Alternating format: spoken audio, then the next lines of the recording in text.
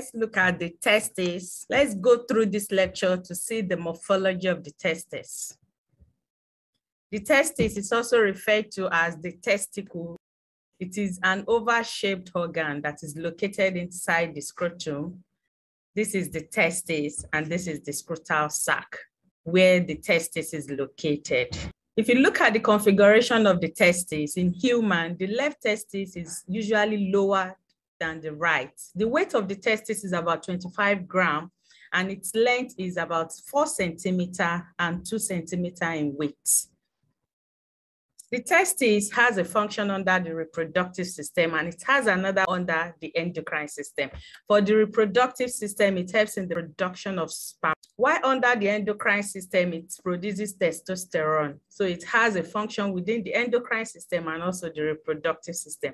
And as we go through with this lecture, we'll see how the testis is able to do this. First, why is the testis located outside of the body? It is suspended by a dual chamber sac that is called the scrotal sac sac.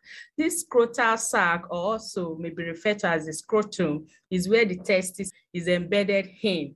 So it's able to house it conveniently. This structure called the testis is located outside of the body because of thermoregulation. So the process of spermatogenesis is one of the major functions of the testis, cannot occur within the body it can only occur under a temperature that is lower than that of the body.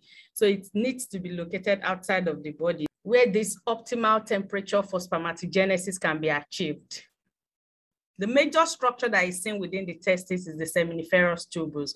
These are tubular network that is seen to be arranged within the testis. But first, let's look at the tunica albuginea.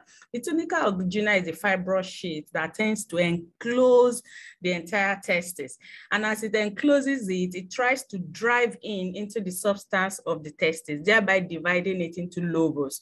So you have the tunica albuginea, the region that is highlighted in black. And if you see this configuration, you see that they tend to drive in into the tissue of the testis. And as they do that, they divide the testis into wedge-shaped lobular structure that is called the testicular lobes. And these are the lobes. You see the lobes are arranged from one end to the other. Then within the lobes, we have tubular configuration that is called the seminiferous tubules. So this is what you see. And within each lobus, aside from the seminiferous tubules, we also see the interstitial tissue. This is the interstitial tissue, the region that is dotted blue. We have the seminiferous tubules, which are tubular network, then embedded in a mesh of interstitial tissue. So let's drive a bit more in on the seminiferous tubules. We say they are coiled tubular network that is seen in each lobe of the testis. We have two major regions of the seminiferous tubules. We have a convoluted region and this is the convoluted region. If you see this convolution at a point, they become straightened, then you have the straightened region. The seminiferous tubules is seen to be more convoluted than being straight. This means that the convoluted region takes more of the part, while the straight region takes a lesser part of the, of the seminiferous tubules. Also to add that the convoluted part of the seminiferous tubules is where spermatogenesis occur, after which will be transported through the straight part of the seminiferous tubule, which means that the straight part is more of a passageway. The sperm that is produced within the convoluted region down to the straightened region, they will be emptied into this network of tubular presentation. And this area is called the rete testis. And this is the rete testis. The rete testis is like a continuation of the straight part of the seminiferous tubules. The activity is exhibited in the seminiferous tubules. This is the seminiferous tubules in this gross presentation. When this region is extracted, this section of the seminiferous tubules is what is presented in this image. The wall of the seminiferous tubules, we have two types of cells. And the first one is the spermatogenic cell, and this is the spermatogenic cell. This spermatogenic cell will further develop to become the spermatozoa. And as they develop, they are released into the lumen of the seminiferous tubules. And this is how they begin to transport themselves. That this tubular network. The next set of cell is the Sertoli cell. This is the Sertoli cell highlighted in green. This cell produces support or nutrients to the spermatogenic cell.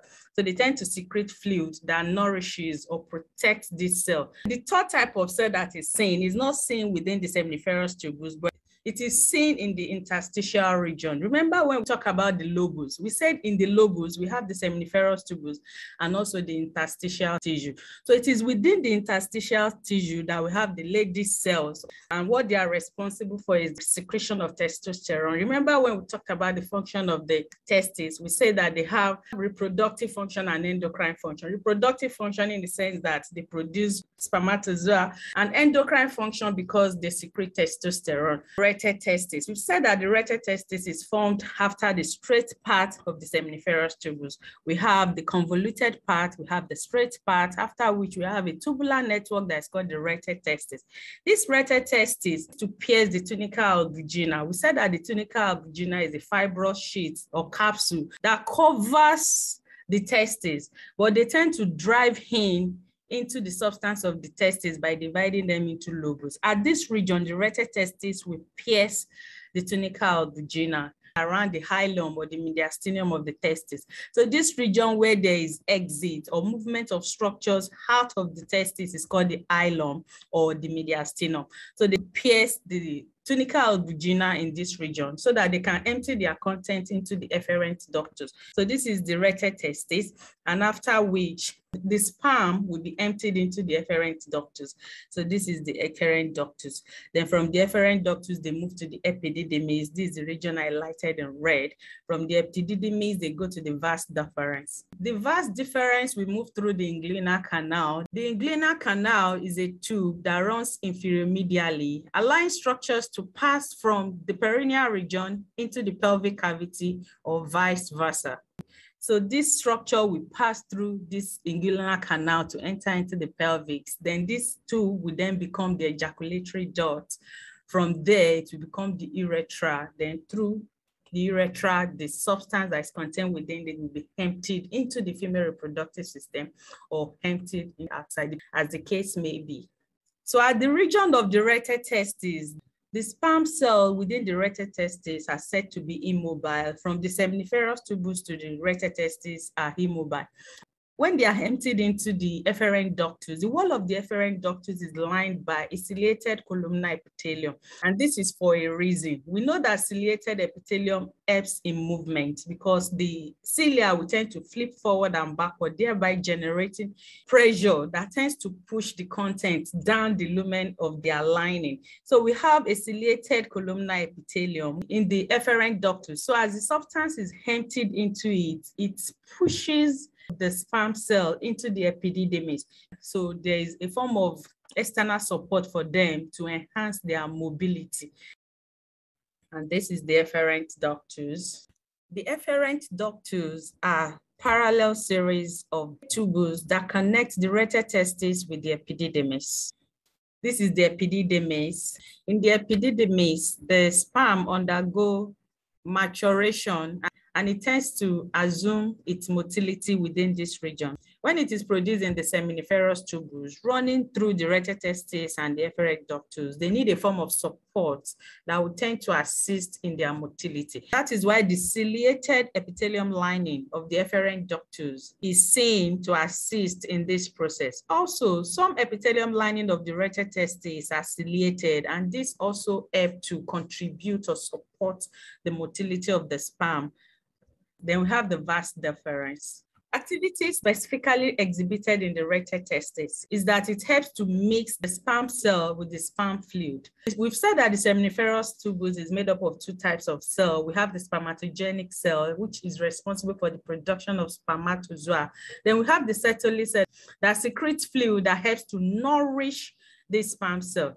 So this fluid and the sperm cell is mixed in this region. So this helped to make the sperm cell and the sperm fluid together. And also in this region, there's reabsorption of fluid. When it mixes it, it tends to also help to reabsorb the fluid back into the body and thereby helping to concentrate the sperm. Blood supply. The blood supply of the testis is different from the scrotum that is covering it. Because of the developmental process, we know that the testis develop in the abdomen and there's what we call the descent of the testis. It descends down just to assume this space because we already said that it needs to be located out of the body for thermal regulation. Therefore, the blood that supplies the testis is from the abdominal aorta. So as it grows, it tends to descend also with its blood supply So we have the testicular artery. These arteries originate from the abdominal aorta, follow it to descend out of the body. And that is why you have the testicular artery being a branch of the abdominal aorta. And this is the abdominal aorta. And this is the testicular artery that emerges from there, then travels down through the inguinal canal to supply the testis in the perineal region. Then we have other collateral blood supply that also help to support the testicular artery. We have the cremasteric artery, which is a branch of the inferior epigastric artery, which branches from the external iliac artery. Remember that at the terminal end of the abdominal aorta, there's a bifurcation into the common iliac artery. From the common iliac, there's further bifurcation into the external iliac and the internal iliac. The external iliac will go down to supply the lymph. The cremasteric artery also pass through the inguinal canal. This is the inferior epigastric artery that branches off from the external iliac, and we have the cremasteric artery that branches off from the inferior epigastric artery. We also have another branch that originates from the internal iliac.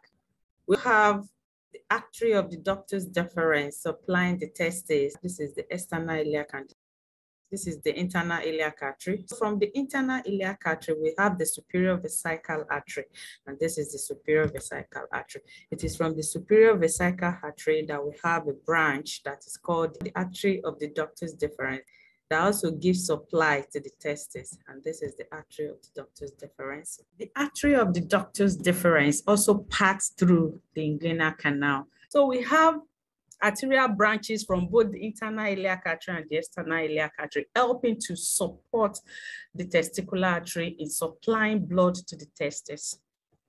Then the venous drainage. The venous drainage of the testis is very interesting we have a network of about 8 to 12 veins coming together to form an anastomotic network around the testicular artery. And this is called the pampiniform plexus of vein. And this is the pampiniform plexus of vein that is wrapped around the testicular artery. Presents a countercurrent heat exchange effect. This is the testicular artery highlighted in red and you have the veins around it, wrapping around it, forming a form of network around the artery. So what happens is that the blood that is passing through the artery will be cooled. As this network is formed around it, you can see it being transferred from this artery to this vein.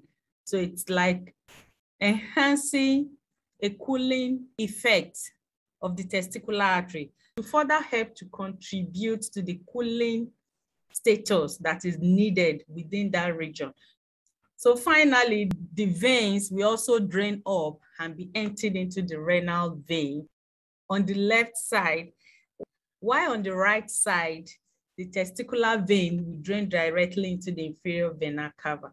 You can see that the venous drainage is also the abdominal region, while the artery also comes from the abdominal region. Then talking about the lymphatic drainage, it's also the same with the lymphatic drainage. We have the testicular lymphatic vessel, and they also drain to the para-aortic lymph nodes, which is located around the abdominal aorta.